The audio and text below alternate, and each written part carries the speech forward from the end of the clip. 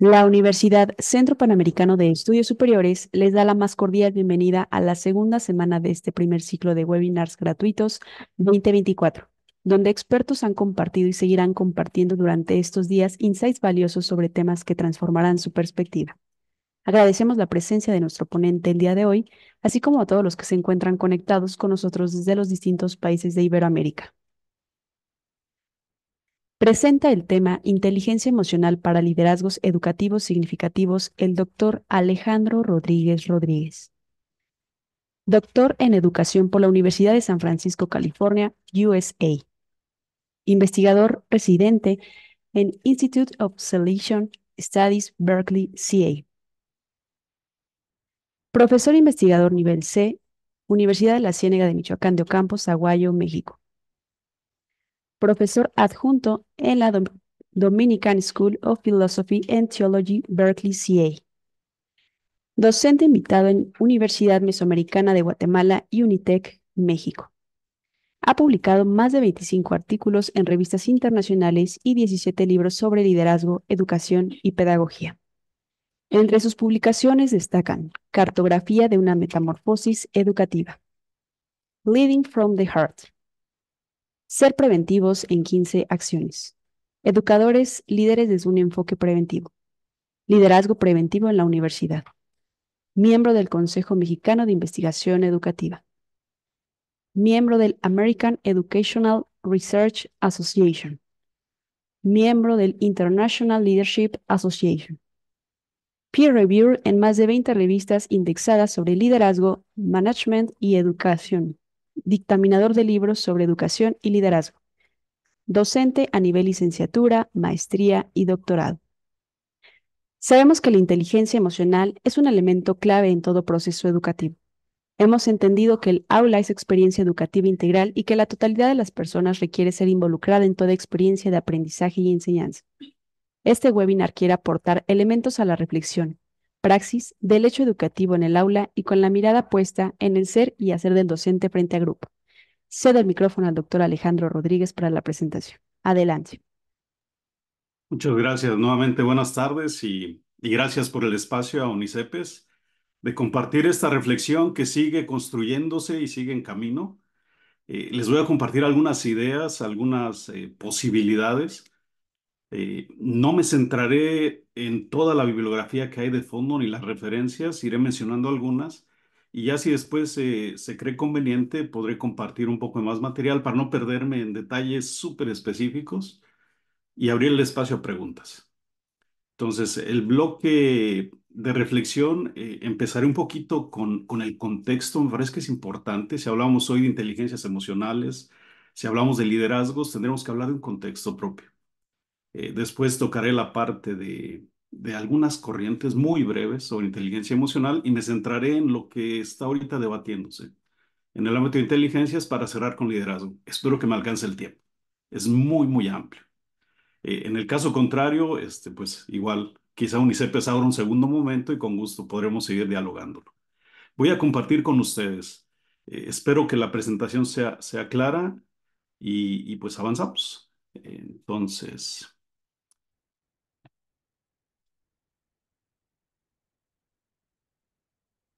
vamos eh, sobre esto. Espero que estén ya viendo ustedes en, la pantalla los demás.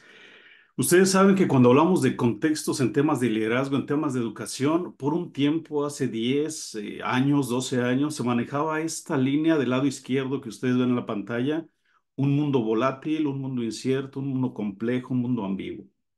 El BICA, mundo o buca, dependiendo la traducción. Hablábamos de volatilidad por toda la situación que se manifiesta en cuestión educativa, en cuestión familiar, en cuestión laboral. Hablábamos de incertidumbres ante un mundo cambiante. Está hablando desde hace 10, 12 años. Hablábamos de una complejidad que comenzábamos a ver que el mundo no era tan sencillo de entender, que había muchas opciones. Y hablábamos de una ambigüedad no solo en el plano moral, sino también en el plano de toma de decisiones en el plano de lo que comenzó a sonar hace unos años, las fake news y las news que no eran tan fake. Todo este elemento sigue la reflexión. Me parece que hoy comienza a moverse hacia otro paradigma, aún en construcción, E- En inglés ustedes lo van a encontrar como Bani. En español hago la traducción, lo están viendo del lado derecho. Se habla hoy de contextos para liderazgo educativo y no educativo que son frágiles ante una realidad que ustedes ven, sobre todo en el ámbito empresarial, no excluida la escuela en todos sus niveles, eh, donde se va marcando la parte de las eficiencias y las ganancias, el profit, es decir, el negocio de la educación, con todos los riesgos que hay y con todas las realidades que se tienen en nuestro continente. Eh, otro elemento que fragiliza esta, esta realidad es eh, las debilidades que a veces se ignoran. Ustedes están viendo, sobre todo el ámbito social, algunos líderes, si no de opinión, pero algunos líderes de algunos partidos en algunos países que ignoran debilidades propias, pero sí marcan las contrarias. Y entonces esto da mucha fragilidad a los conceptos. Ustedes ha- han escuchado gente que se pone como paladín de algún tema, eh, en tema de honestidad, en tema de rendición de cuentas, y vemos que hay mucha fragilidad en ello. Ante esto, la reflexión va en decir, hoy necesitamos liderazgos que sean capaces de adaptarse, adaptarse a contextos frágiles. No estoy entrando en el tema axiológico, eh, lo tocaré después. El segundo elemento es la, ansie- la- la ansiedad. Eh, según algunos autores, estamos moviéndonos hacia un mundo muy ansioso, donde hay pasividad y aversión al riesgo. Comenzamos a ver la situación donde se va dividiendo la sociedad en algunos eh, espacios donde están los buenos porque piensan como yo, actúan de acuerdo a lo que yo tengo como intereses, y los no buenos, por decir estas palabras, donde hay un impacto negativo de las malas decisiones. Eh, Estamos viendo que sí afectan y afectan a gran escala. Ante esto, una reflexión que se sigue moviendo es hablar de innovación y todo el tema de la innovación. No me detengo por cuestión de tiempo y poder hablar de variedad de escenarios frente a toma de decisiones. Sabemos que un líder, la definición que nos guste, eh, la tocaré muy breve, será quizá te llama la atención el líder transformacional, quizá el líder carismático, quizá el distribuido, quizá alguna otra variable. Siempre hay escenarios frente a los que tomas decisiones, en equipo, personal, corporativo. Eh, se habla de variedad de escenarios, eh, el mejor escenario y el peor escenario y cómo lograr opciones de toma de decisión en esto. Tercer elemento del contexto en el que nos estamos moviendo hoy es algo no lineal. Y esto está causando, sobre todo a las generaciones más grandes, nos, nos causa cierto problema porque parece que el mundo ya no se logra entender todo en este esquema de causa-efecto. Sabemos que hay una posible causa y una variedad múltiple de efectos. Sabemos que hay una decisión que se toma en el aula, fuera del aula, en cualquier ámbito, evaluación, asesoría, tutoría, y no sabemos los resultados, suelen ser impredecibles. Eh, para bien y para no tan bien nos hemos llevado sorpresas quienes nos dedicamos a la docencia, ¿no? El decir, he tomado una decisión frente a un grupo, frente a un alumno, frente a una situación concreta, y los resultados son impredecibles, para bien y para no tan bien. Y el cuarto punto que hoy se maneja es la parte de incomprensibilidad. El mundo es demasiado complejo. Y al ser demasiado complejo, se necesita un entendimiento que oriente y clarifique. Y aquí las palabras son interesantes, ¿eh?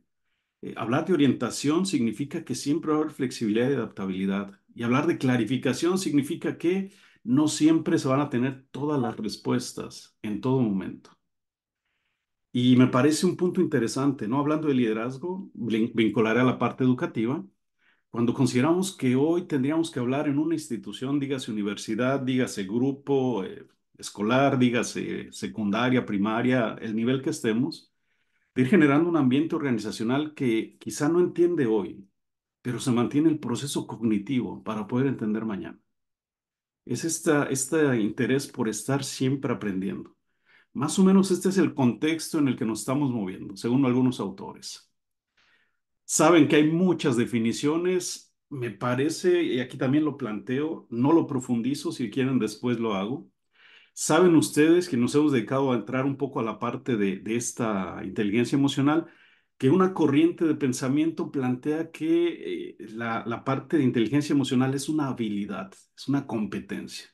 Y por ende podemos manejar elementos acordes a esto.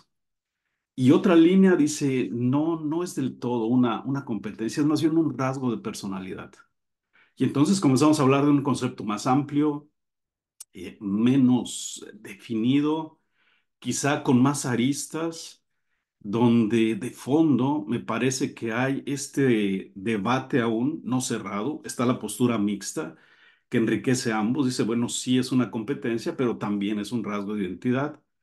Y entonces hablamos de, personalidad, perdón, y entonces hablamos de, un reto que hoy todavía está presente y es si la conceptualización está generando cierta dificultad de unificación, si es posible, hablar de medición. Sabemos que hay instrumentos que se están empleando para medir al estilo de, de las inteligencias, ya sean inteligencias múltiples, pero en la parte emocional y de sentimientos decimos, no hay del todo un instrumento que nos lo garantice. Sabemos que en la historia breve que ha llevado la inteligencia emocional de los ochentas hacia acá, ha habido propuestas, las voy a tocar muy brevemente. Eh, ahí lo dejo, no, no me detengo a las definiciones, las están ustedes viendo. Me parece que hay dos, hablar de habilidades y hablar de capacidad de comprender. Y entonces, eh, el último tema es la cuestión práctica, ¿no? Ahí me parece que ha habido intuiciones interesantes y es a donde se mueve un poquito hoy la, la ponencia. Eh, voy a avanzar eh, con el entendido que ustedes van siguiendo los contenidos eh, muy breves que están en la, en la presentación.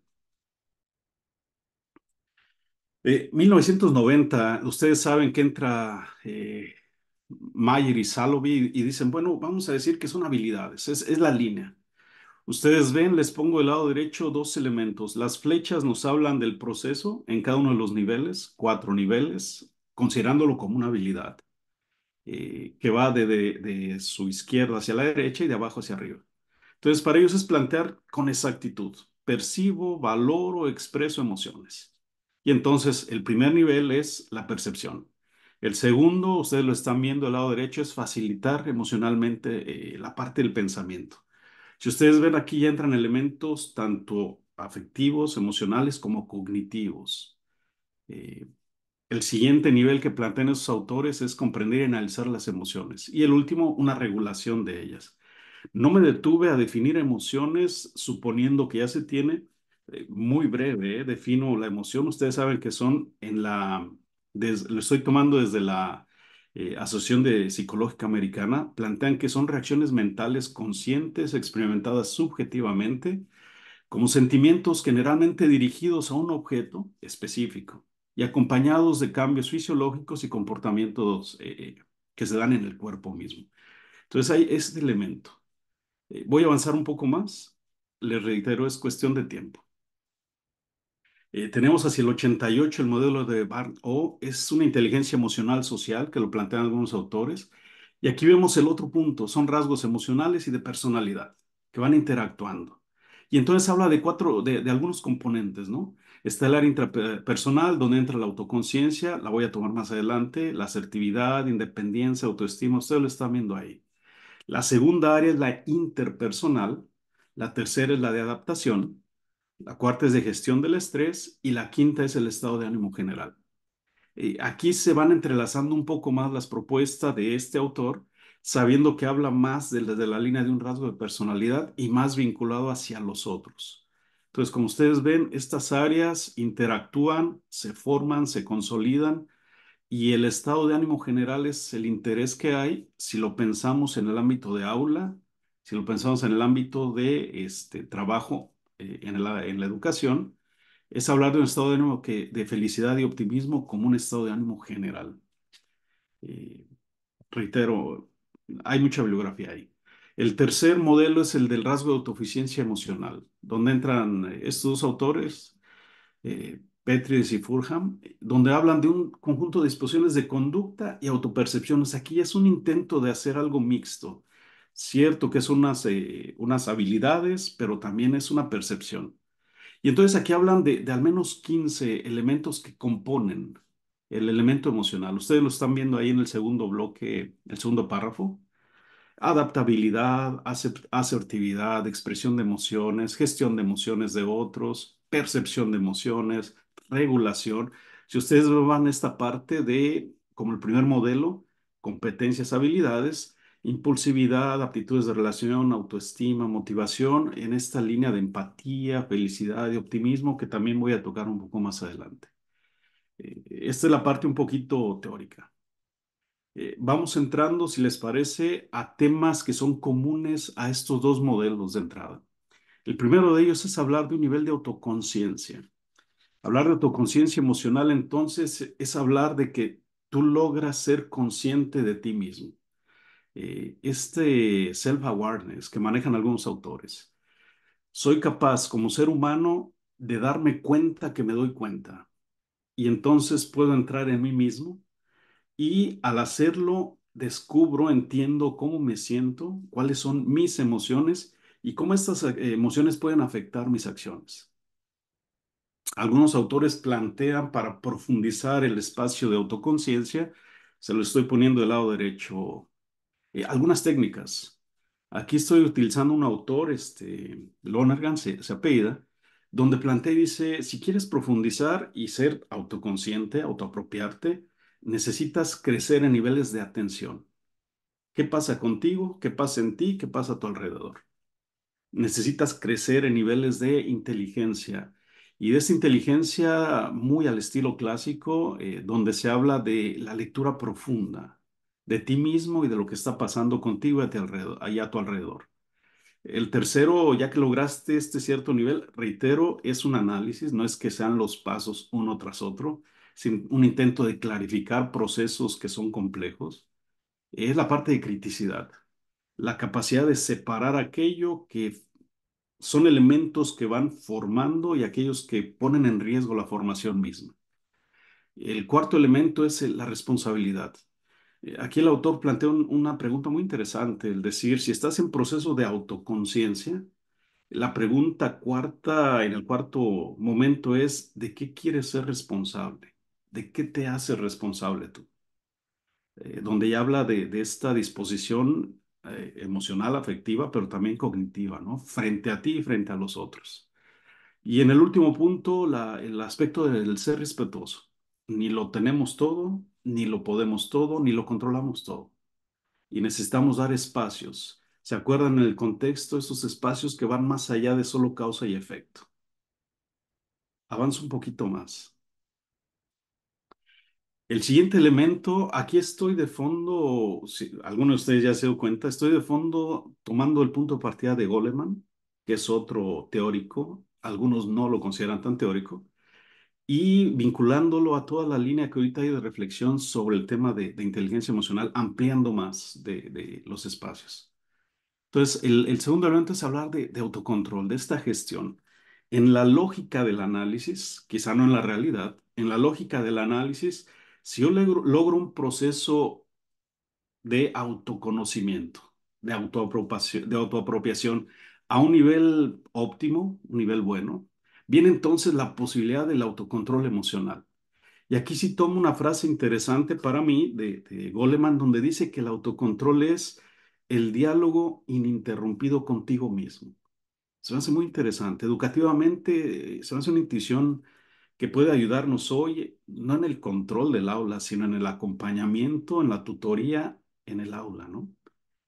Ante esta, esta situación no lineal, ante esta situación que, que está afectando a nuestros alumnos, me parece que ir haciendo estos ejercicios de autocontrol. Ello nos va a dar, reitero, ese análisis, nos va a dar elementos de adaptabilidad.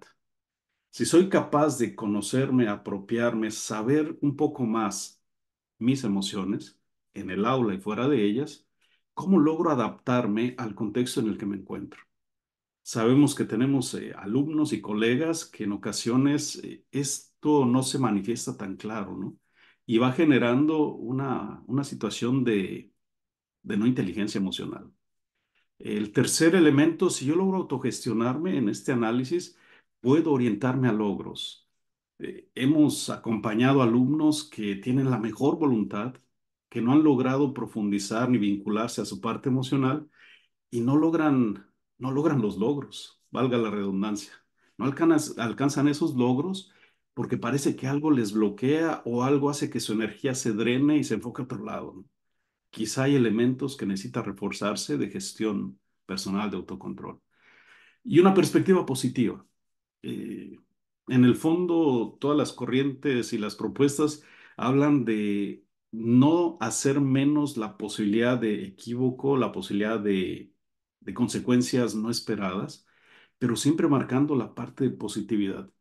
Pareciera que desde lo positivo es más, eh, hay más herramientas para construir, para consolidar que desde lo negativo. Y de hecho, ustedes saben que la parte de la neurociencia y demás nos habla de, del efecto que puede haber de pensamientos, sentimientos negativos, ¿no? Si podemos hablar de, de esta, esta variable, ¿no? Positivo y negativo. ¿Qué técnicas se sugieren en el aula y fuera del aula para esta parte de ir aprendiendo un poco más el autocontrol?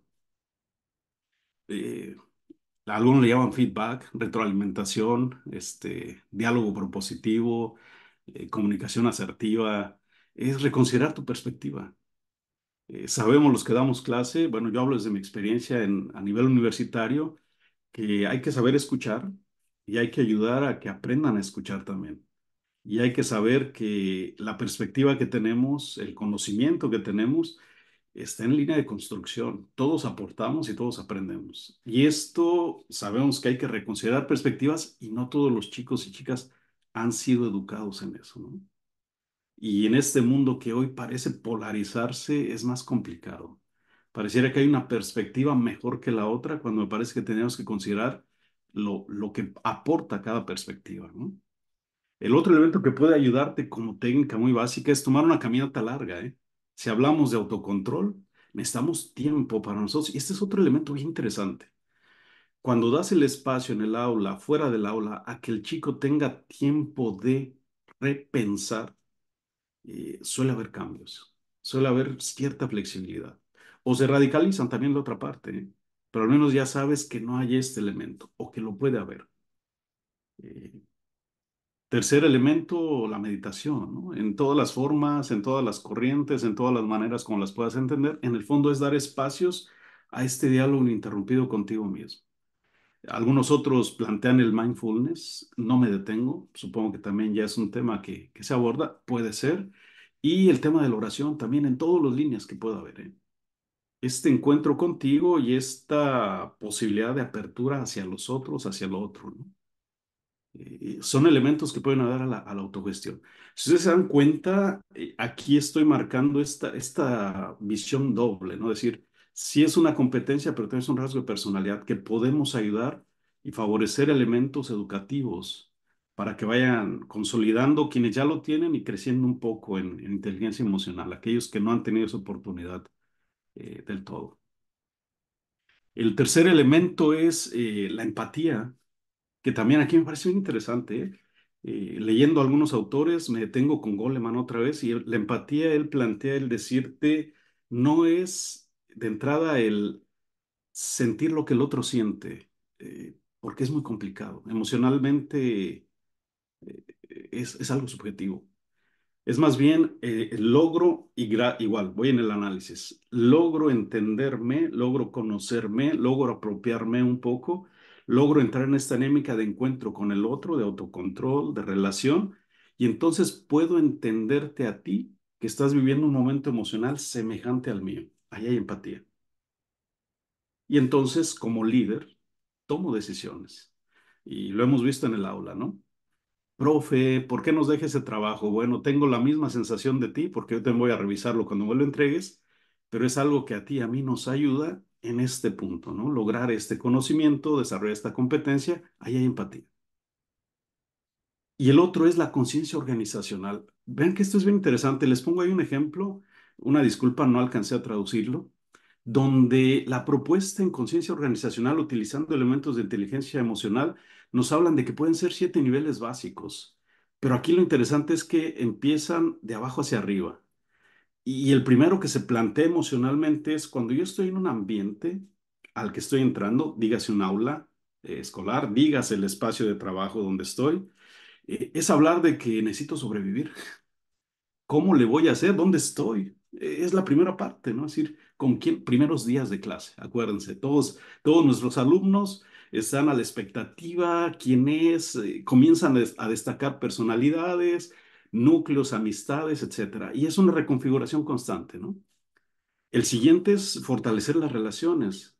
Comienzo a ver en el grupo que, que, me, que entiendo lo que ella o él dice, me parece que compaginamos, si no una amistad, comienza a haber ya una cierta relación.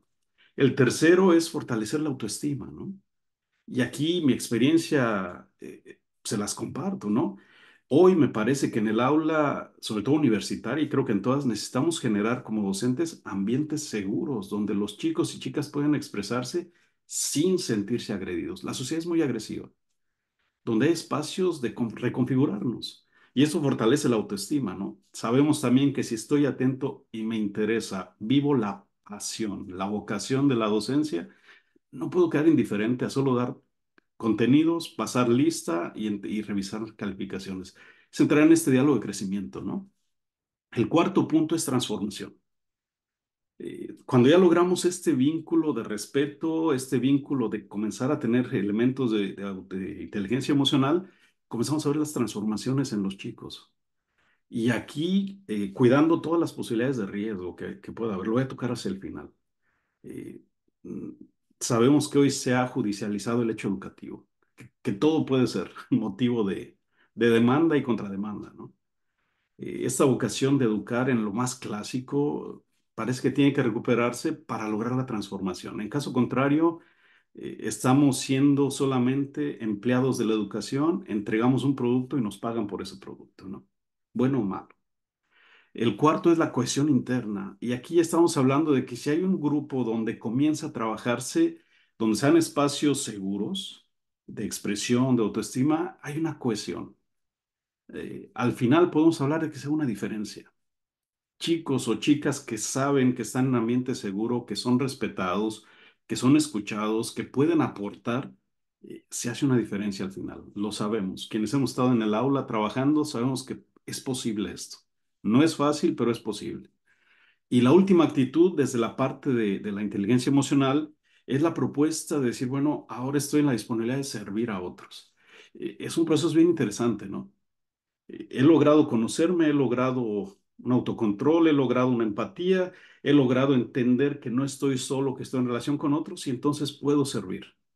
Y me parece que, que aquí hemos tenido experiencias de servicio, servicio social, eh, inserción en comunidades, donde estas experiencias abren a los chicos a fortalecer elementos de, inteligencia emocional, que es el tema de, de este webinar. Voy a avanzar un poquito más. Viene el último elemento en este punto, que es la gestión relacional. Ya estoy en esta dinámica, ¿qué viene? Sabemos que un liderazgo educativo eh, tiene un alto nivel de influencia y yo influyo, uno, por lo que propongo, que yo intento vivir, que yo intento transpirar, permítanme esa palabra, y entonces los otros se ven impactados y dicen, algo hay que me llama la atención es clave la parte de influencia, porque el que influye puede inspirar. Punto importante y común a casi todas las teorías de liderazgo. Entonces puede hablar también ya en el aula, hablar de coach, mentor, tutor, porque ya hay este proceso de inteligencia emocional. Y entonces ya no hay el temor a ser agredido o el temor a agredir, que siempre lo está presente, ¿eh? pero eh, haya más eh, control hasta cierto punto, si podemos hablar, o al menos más conocimiento emocional de mí mismo y un poco de los otros. En todos los grupos va a haber conflicto. Y aquí lo interesante es que cuando se trabaja en equipo hay que establecer normas productivas.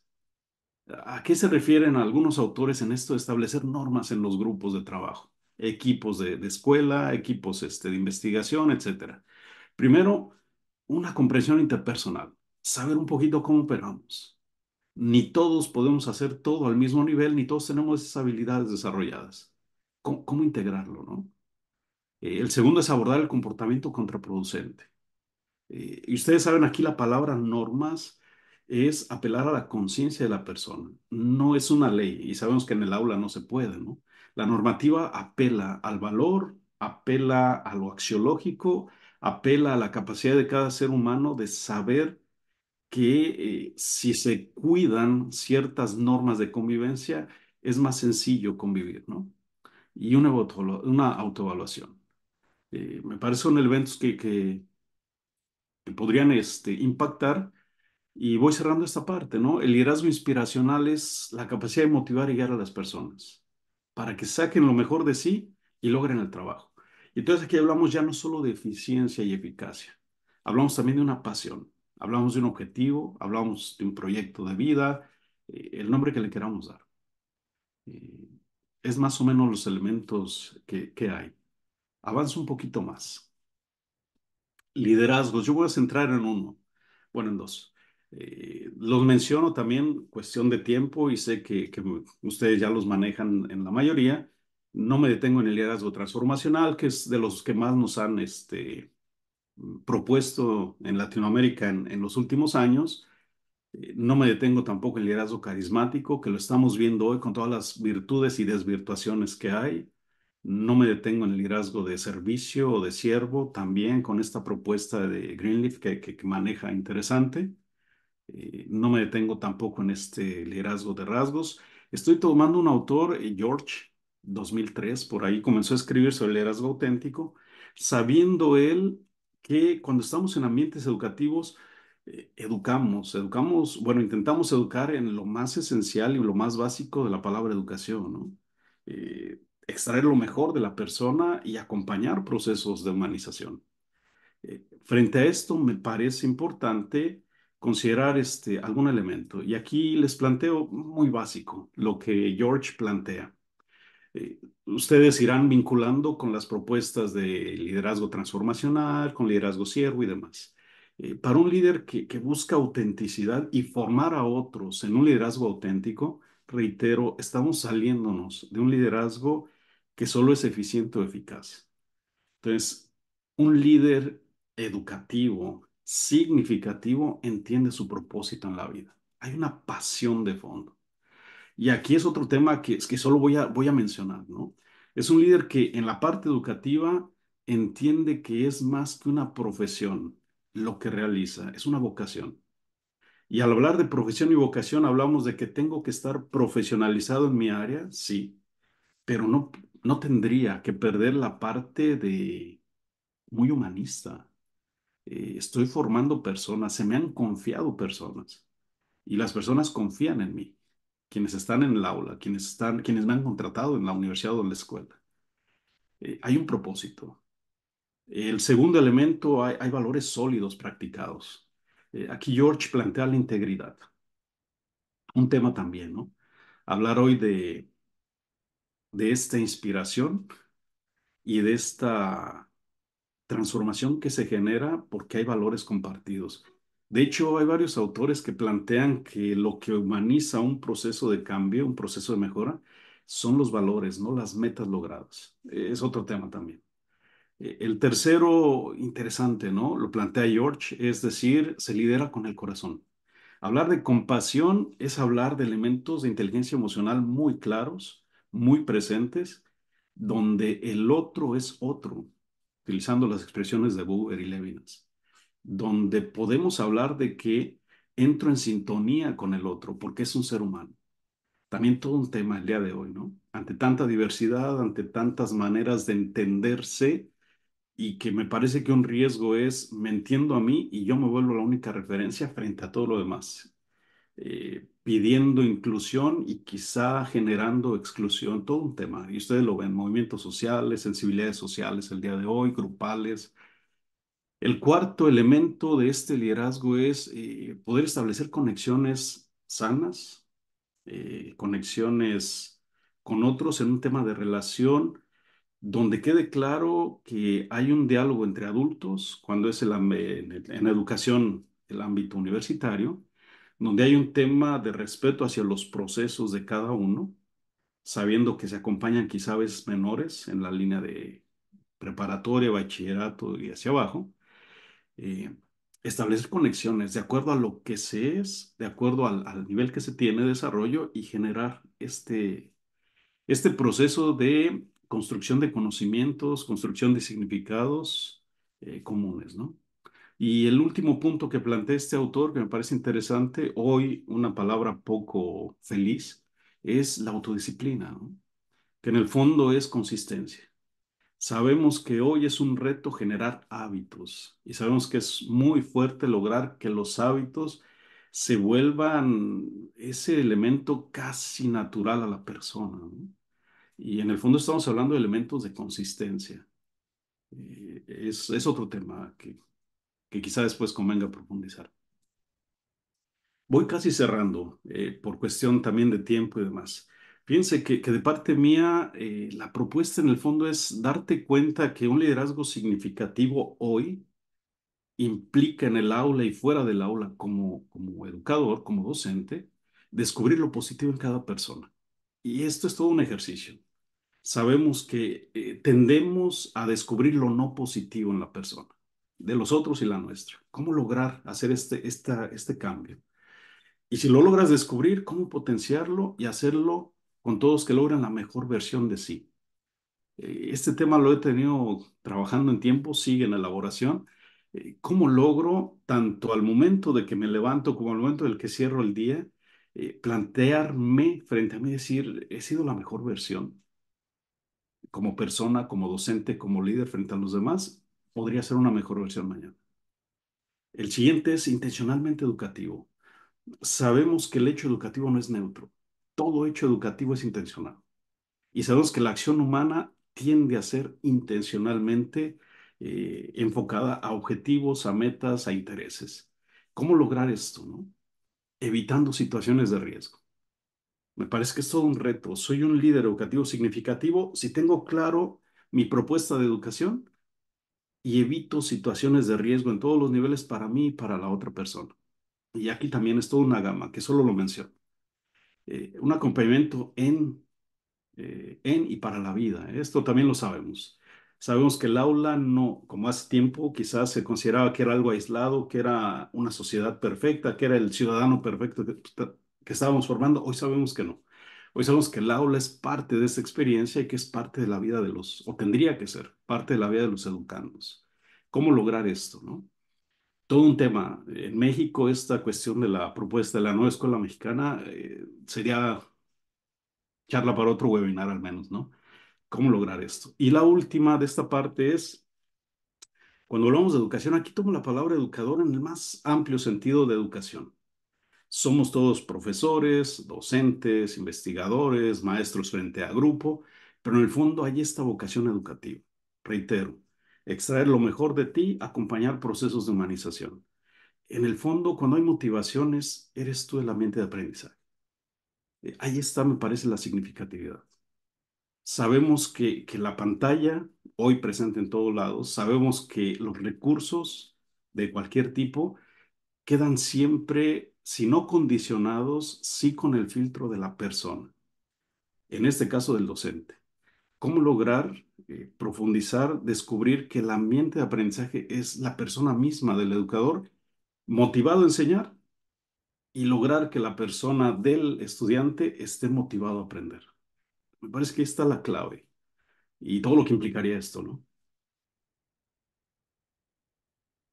Y de mi parte estoy casi sobre tiempo, no sé, este, Mariana, estoy yo cerrando en parte para el espacio, si hay algo más. Vamos. Agradecemos. Perfecto, doctor. Agradecemos la participación del doctor Alejandro. Voy a cerrar la presentación. Rodríguez Rodríguez. Adelante, doctor. A continuación daremos espacio para la sesión de preguntas y respuestas. Para ello les recordamos hacer uso de las reacciones de la plataforma Zoom para que activen su micrófono o bien escribir las preguntas a través del chat con mi compañero Adrián del Departamento Marketing ¿Quién nos estará apoyando dando lectura a cada una de sus inquietudes. Adelante, por favor. Muchas gracias, eh, Mariana, por este, por cederme el micrófono.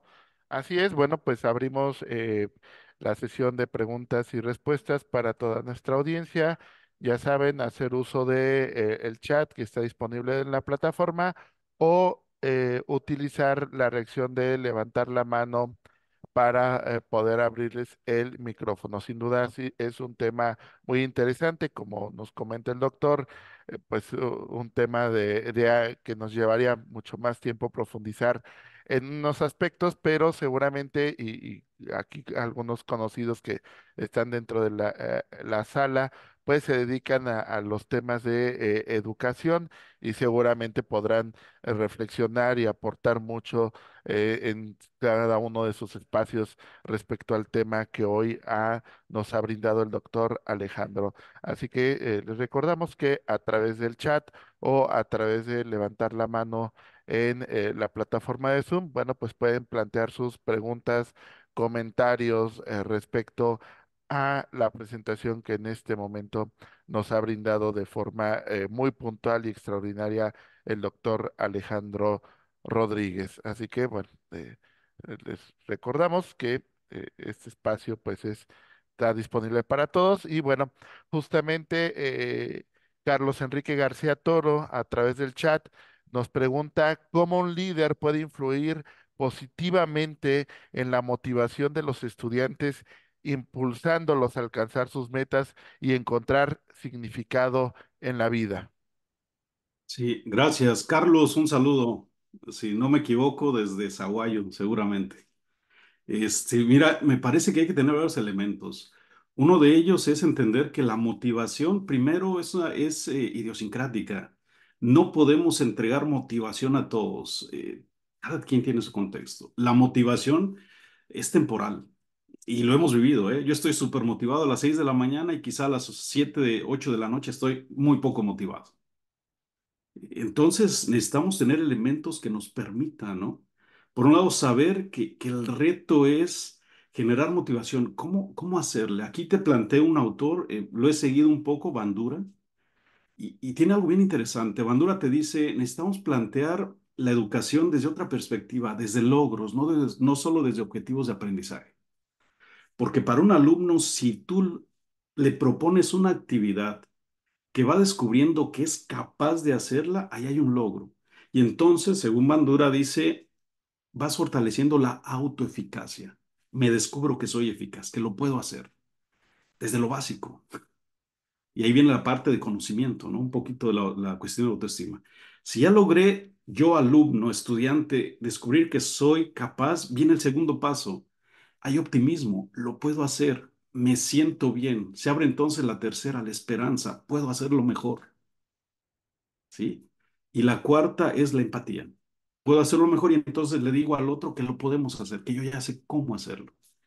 Lo aplicamos en el aula, lo sabemos y tiene, tiene elementos muy interesantes de, de, de aplicabilidad.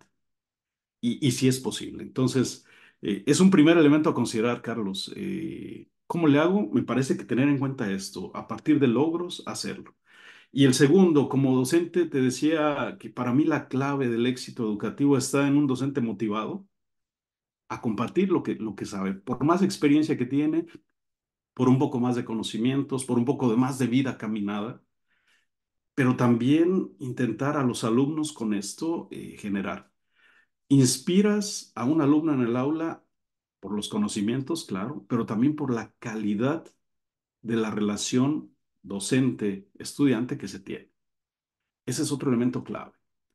Si tú te apoyas solamente a trincheras, solamente a decir, porque soy el maestro, ahí ya se pierde mucha autoridad. Ganas, si tú quieres, poder influyendo a los demás y diciendo aquí el que manda soy, y al final sí, tenemos un cierto desnivel, ¿no? Al final yo soy el que pongo la nota y soy el que firmo las calificaciones. Pero es este proceso, me parece. Y, otra más, y aquí también, yo creo que la gama de opciones que puedes ofrecerle al estudiante, eh, entre más amplia sea, el estudiante tiene más posibilidad de ver. Eh, Estamos en el ámbito educativo, ¿no? Quizás hace 30 años decían, si estudias educación es para que des clase. Y hoy nos damos cuenta que no, que la educación es un hecho humano, que humaniza. Y entonces estamos en todos los ámbitos. Capacitación a empresas, investigación, docencia, acompañamiento de procesos personales, aprendizaje eh, y todo lo que implica el aprendizaje, etcétera. Eh, no sé, me parece que por ahí. Y la otra, lo que decía un poco, ¿no? Cuando logras esta relación, puedes de alguna manera, este, este diálogo, este feedback, donde te escucho, me flexibilizo, me escuchas, flexibilizas y vamos entendiendo que los significados de vida se van construyendo y, se van evaluando y se van reelaborando. Y ahí entra en el aula universitaria o fuera del aula la tutoría, el coaching, el acompañamiento. Espero haber respondido un poquito, este, Carlos, a esta pregunta. Muchas gracias, eh, doctor, por su respuesta. aquí ya tenemos varias preguntas que nos plantean a través del chat.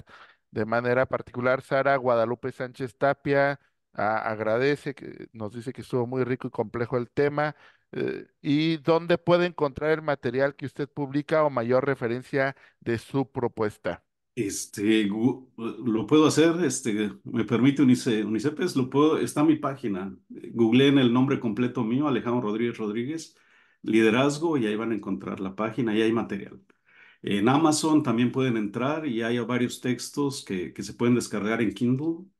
Y este, y si no en la página directa y se acercan ahí, mandan un correo y con gusto me pongo en contacto con ustedes. Es donde está, más o menos, el material.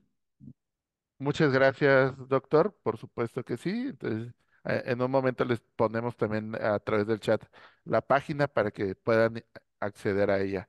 Una pregunta más de Ana Fabiola Sandoval Perea. Dice, ¿cómo trabajar el liderazgo educativo que nos toca por el hecho de ser docentes, pero con los padres de familia? Es, es un tema bien interesante y aquí también entramos a la complejidad. Eh, si tienes padres de familia que tienen su primer hijo, que estás en los primeros niveles, 6, 7, 8 años de edad, vas a tener unos padres de familia que están acostumbrados a pagar por un producto. Eh, olvídate que hay una, un coadyuvarse en la educación, olvídate que la educación es un aspecto social. No, aquí es, tú me ofreces algo, tú yo pago por ello. Dirás, bueno, yo no trabajo en escuela privada, yo estoy en escuela federal o pública, te van a decir lo mismo, mis impuestos pagan tu salario. Entonces, eh, hay que saber esa parte y regreso a decir, eh, cuando tú inspiras es porque lo que propones está basado en valores.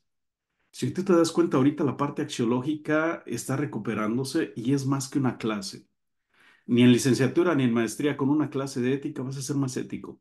Te va a dar claridad. La vivencia del valor es cuando se transmite. Sabemos, esto es ya trillado, ¿no? Sabemos que lo que enseñamos en el aula no siempre se refuerza en, la casa. Pero si no lo hacemos, le privamos a esos alumnos de lo mínimo, de saber que hay otras posibilidades. Me parece que el hecho educativo hoy, si hablamos de educación básica, media superior, básicamente superior me refiero fuera de México, edades de 6 a 13, 14, 15 años, eh, necesitamos integrar al, papá. Antes estaba integrado, hoy no lo está y no lo van a estar en un futuro. Y necesitamos estrategias. En algunos lugares les llaman escuela para padres, en otros lugares les llaman formación este, extracurricular. E, es involucrar en el hecho educativo. Y el hecho educativo implica dentro y fuera del aula. Y el hecho educativo implica conocimientos que te dirán, tú eres el experto, tú debes de educarlo y decir, no, soy experto en un área, pero la educación del ser humano implica muchísimos. De hecho, hay un adagio africano, ¿no? Dice, para formar un ciudadano se necesita toda una aldea. Entonces, va en esta línea. Y creo que la pandemia fue bien interesante, si me permite. En la pandemia nos dimos cuenta que era un punto donde tendría que entrar el conjunto de la sociedad. El tejido social, fortalecerlo porque ahí también se aprende. Eh, sabemos que los sistemas educativos de nuestros países aún no tienen las herramientas para evaluar y, e integrar todo ese conocimiento, no formal o informal, si quieren utilizar ese, esa, conceptualización. Entonces, eh, te doy respuesta y a la vez no, no hay una estrategia, es involucrarlos en el hecho educativo. Eh, y también saber que este, tú eres de alguna manera quien va acompañando el proceso en alguna otra conferencia decía, me parece que hoy uno de los problemas que tenemos no es de conceptos educativos, es la vocación del educador y los elementos pedagógicos. Acuérdense del, pedagogo, ¿no? Este, esta persona que acompaña al menor en el proceso de ser mejor persona. Me parece que hay elementos de, de pedagogía que necesitan recuperarse. Los comos famosos. Yo los ubico como elementos pedagógicos, didácticos si quieren. Eh, espero haber respondido un poquito. Muchas gracias, doctor. Tenemos ya varios comentarios, varias preguntas a través de el chat. Eh, un segundo, por favor. Nos dice Norma Angélica Aguirre López, definitivamente liderazgo e inteligencia emocional tienen que ver con el área laboral. Sin embargo, creo que el tema de en qué profesión lo desempeñamos impacta más. Definitivamente. Se nos confían personas y es todo un reto. ¿eh? Y sabemos por experiencia, ¿no? Recordamos después de muchos años al docente que nos trató bien y también el que no nos trató bien. Eh, los conocimientos quizá nos impactó al decir, era, era un tipo súper inteligente, era una mujer súper preparada, pero si me trató mal, eh, ahí viene a todo menos. De hecho, estaba leyendo y les comparto, ¿no? Dentro de las muchas propuestas de Walt Disney hay una que dice el 1.70. A una experiencia negativa en sus centros de Walt Disney, 70 experiencias positivas. Imagínense el, el rango que ellos plantean, ¿no? Para borrar una experiencia negativa necesito 70 positivas. Si esto lo planteamos en el aula, imagínate todo el trabajo que hay de, de tutoría, yo llamo de acompañamiento, en el aula misma, ¿no? Porque llegan nuestros chicos ya con experiencias no tan positivas.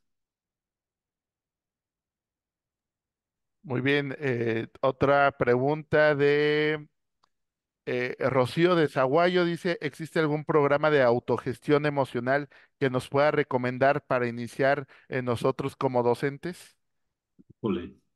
Eh, de los más eh, vendidos ahorita está la cuestión del el enfoque o focalización, eh, está la propuesta del mindfulness con varios autores. no me atrevería a afirmar ninguno. Hay más bien me parece que, que cada, te, sugiero que te acerques a, algunos textos. Yo, por mi formación, me acerco un poco más a la parte más cognitiva, entonces digo, bueno, un poco más la parte del Lonergan, un poco más, pero, híjole, de verdad no, no sabría, te fallaría si te digo, esta es la mejor opción. Eh, creo que podrían ser ahí algunos elementos. Gracias, doctor. Eh, una más de Mariana, Mariana Isabel García Méndez. Dice, menciona algunas cosas que el profesor puede hacer, como identificar las características positivas de los estudiantes, pero qué cosas no deberíamos hacer, porque a veces la regamos sin darnos cuenta, nos dicen desde Sí. Zacatecas. Eh, yo te planteo una que es, me parece que es clave, dos. La primera, en lo posible, con el conocimiento y experiencia que tienes, el nivel de expertise que posees, los años de experiencia, evitar situaciones de riesgo para ti y para tus estudiantes, en todo lo posible. Y ahí también no hay una receta. Eh, te pongo ejemplos, ¿no? Si yo descubro que en mi salón de clase hay un objeto que pone en situación de riesgo físico a mis alumnos, intervengo para que no haya eso, intencionalidad. Si yo veo que hay un ambiente fuera de la escuela que pone en riesgo a los alumnos, busco la manera de, hacer un, grupo de padres de familia, de gente, líderes de la comunidad, que nos ayuden a disminuir la, la posibilidad de riesgo. Eh, me parece que es un elemento este. Lo mismo en la relación interpersonal. Sabemos que somos adultos, que tenemos un poco más de experiencia.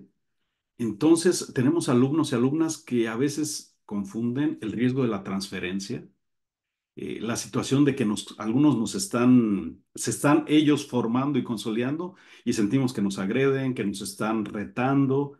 Entonces, decir, bueno, no hay transferencia, no hay enganche, porque hay elementos en mí de autoconocimiento, autocontrol, que me permiten de alguna manera manejarlo. Y también otro elemento, ¿eh? esa es una.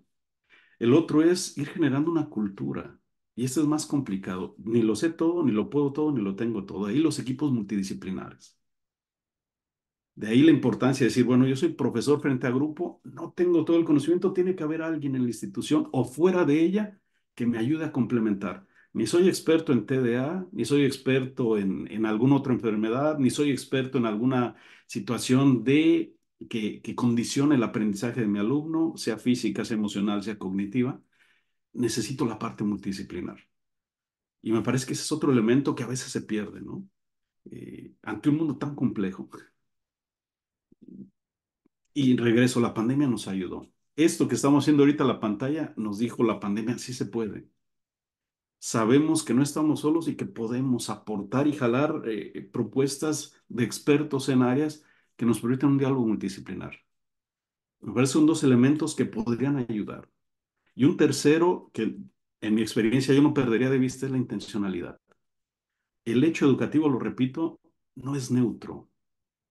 Cuando yo digo estar educando, hay siempre una intencionalidad. Vamos a lo clásico, ¿no? Hay un concepto de ser humano donde me habla de su estructura, si me convence o no, y una finalidad. Ahí es donde entro yo. En caso contrario, cuando pierdo de vista esto, el riesgo latente hay, discúlpenme que lo diga en este foro, el riesgo latente hay es de que yo me vuelva un asalariado de la educación. Me pagan por unas horas que me rento. Y ahí viene, viene mucho menos el, hecho educativo. Se empobrece. Empobrece a la persona porque hay un propósito de vida ya no hay una vocación, es una profesión, es un negocio. Y esto lo perciben los chicos. Regresamos al liderazgo que les proponía la coherencia y la consistencia. Tú me dices que una sociedad mejor, pero pues eres un empleado que te quejas de todos, que no te interesa, que no estás de acuerdo, que no te gusta y que das lo mínimo. Estás transmitiendo, usaba una palabra, estás transpirando eso. Y usé la palabra intencionalmente transpirar porque no lo podemos controlar del todo. ¿Sí? No sé si eso ayuda un poquito a, a dejar elementos. Yo habría más, quizá en otro webinar, pero eh, al menos generar la, la inquietud y, y, el interés por el tema. ¿no? Muchas gracias, doctor. Se seguimos recibiendo varios eh, comentarios eh, relativos justamente a uno de los últimos puntos que hacía referencia, bueno, pues a a este tema de la, la, economía de, frente a la educación, ¿no? Ah, hay dos preguntas eh, referentes a si tiene información sobre escuela para padres y una eh, ligada que va sobre eh, también dónde eh, encontrar información eh, relativa o mayor información sobre estos elementos pedagógicos. Eh, son dos No, no preguntas hacen. entendí elementos pedagógicos, ¿en qué punto, en qué tema? Sí, a ver, eh, esta Si pregunta lo nos puede ampliar después, eh, Á- Ángeles Berenice, ¿no? Ángeles Berenice, ¿dónde puedo conseguir mayor información sobre esos elementos pedagógicos?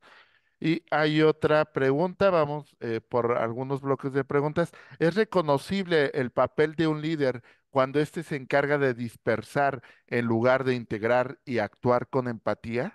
Sí, sí hay liderazgos que, que afectan y generan una cultura organizacional. Y aquí vamos a un dato bien interesante, no lo quise profundizar. Eh, cuando hablamos de la parte oscura, el lado oscuro del, líder, sobre todo el transformacional, sabemos que el líder transformacional está llamado a inspirar, sabemos que está llamado a dejar muy claro los objetivos este, institucionales, sabemos que es un acercamiento personal, pero cuando queda muy disminuida la parte ética, la parte de valores, el riesgo profundo es la manipulación. Y en lugar de transformar, se vuelve transaccional. ¿Qué me das y qué te doy?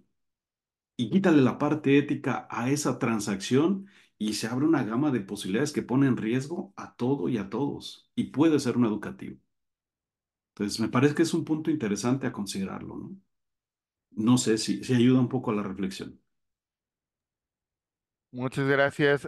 Hay otra pregunta que nos hace eh, Sara Guadalupe Sánchez Tapia. Dice, ¿cómo logro hacer que mis compañeros o subalternos logren ver a la persona de cada alumno como una persona que lo requiere y que puedan abrirse a ver lo mejor de cada chico en lugar de ver lo malo en ellos, como usted lo decía, en el humanista preventivo? Dice, ya que ella trabaja en lo- todos los niveles, pero esto lo pregunta porque cuesta mucho a nivel universitario. Sí, eh, mi experiencia en esta, en esta parte como docente es, uno, cuando yo no tengo un nivel de expertise que digo tener y me siento amenazado, difícilmente veo lo positivo. Estoy en, estoy en modo defensa. y en modo de afirmarme en una posición que quizá no tengo todos los elementos.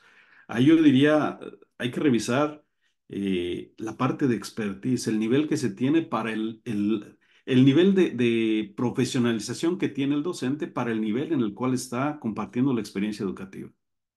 Segundo, si es como institución, hay que considerar elementos de actualización, de desarrollo profesional. Tercero, también hay que considerar elementos de, de autopercepción. Por suerte o por desgracia, sabemos que los filtros hacia el, hacia el mundo exterior muchas veces son también nuestros filtros, ¿no? Eh, ¿cómo lograrlo? Y aquí regresamos. Hasta el día de hoy no hay un instrumento definido que mida la inteligencia emocional como tal. Les, les comentaba un poquito el debate donde se está moviendo. Hay algunos que ustedes, si, quieren acercar, está el IQI, el SI, eh, pero son instrumentos basados en una especie de inteligencia que le vinculan lo emocional. Eh, es apreciativo. Entonces, es, es todo un reto. ¿eh? El instrumento para mí, la parte emocional como tal, inteligencia. Entonces, me parece que es otro elemento.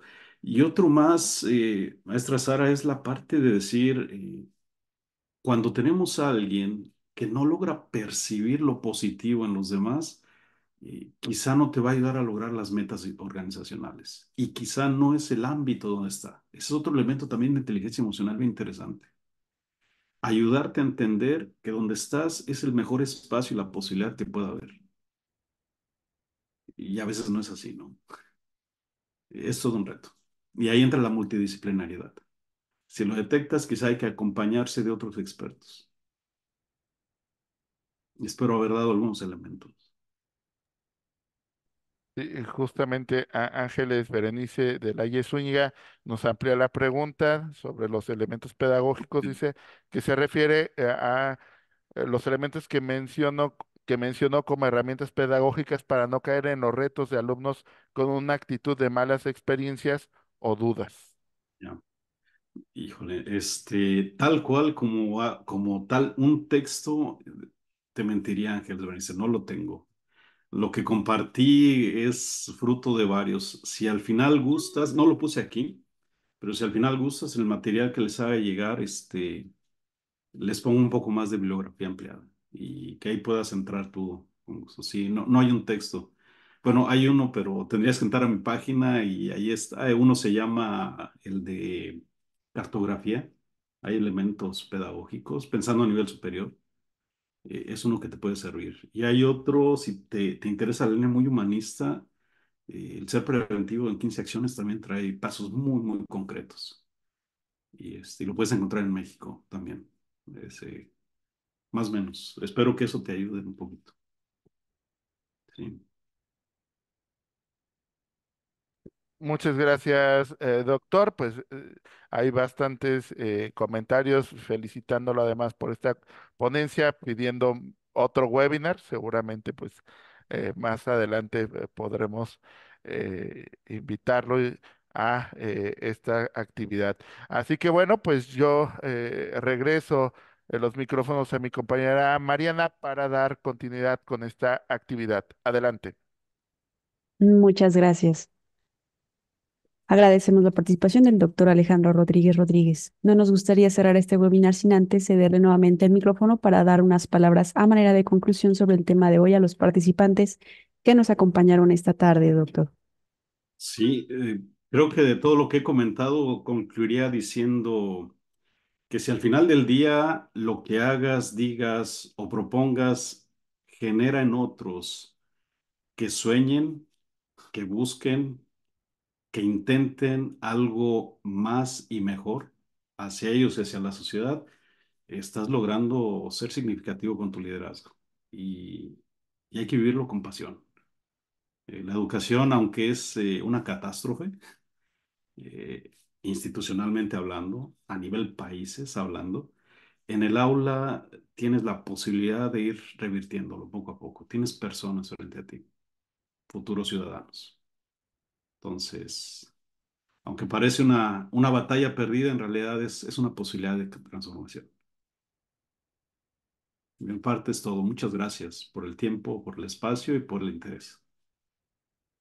Muchas gracias, doctor Alejandro, por su valiosa participación y a todos los presentes su asistencia a este webinar.